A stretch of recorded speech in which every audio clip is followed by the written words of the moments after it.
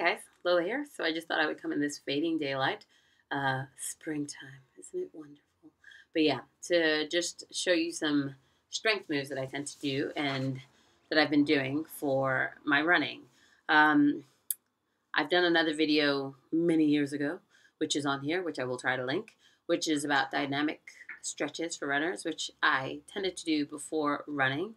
Um, but I'm very lazy now, so I just go out and run. I tend to go slow session, and then I will do some drills, which I can do a separate video on, which basically just gets your legs used to moving in the right way and firing right to run fast.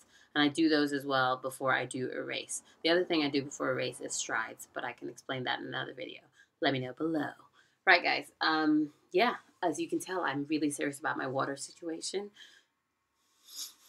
These are actually being used as weights as well as this, and I tend to buy one of these every week um, so that I use the two liters of still spring water just for my earlier in the week weight session. All right, guys, be good. Thank you.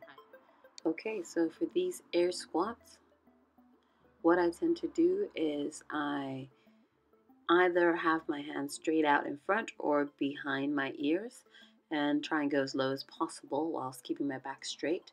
I also show a side view, and I usually now do them with weights, but it's just as well doing it with body weight as well. My weights here are one liter bottles of tonic water, because why not?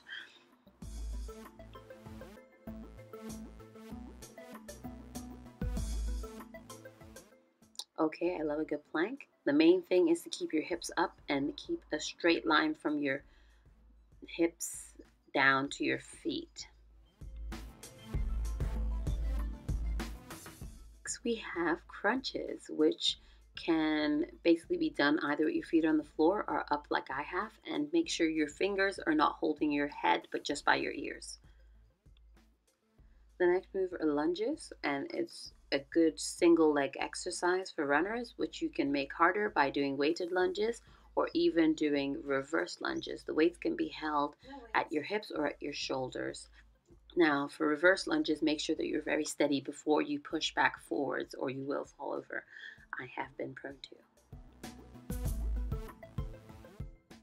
The next move is either a bridge hold for 15 to 45 seconds, or you can make this harder by doing roll-out bridges where you lift up your hips and then roll back and forth either on a foam roller or even a Swiss ball.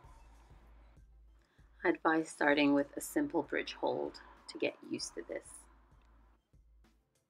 Last but not, but not least, is the trusty push-up, which you can do with the full body version, which is basically holding a plank and going up and down, or doing the kneeled version higher up. As you can see, I suck at the kneeled version because I don't really do them. Sorry.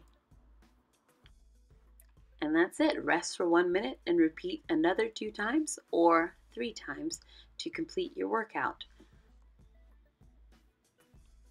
As always, I hope you found this helpful and do leave a comment below, share this video if you enjoyed it, and let me know how you're getting on with this lockdown situation.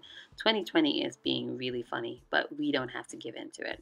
All right, guys, stay strong and stay safe.